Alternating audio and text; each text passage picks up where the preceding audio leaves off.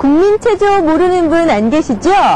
지금부터 배워볼 생활체조는 대표적인 생활체조인 국민체조를 업그레이드한 건강체조입니다. 청소년을 위한 생활체조 지금부터 함께 하시죠.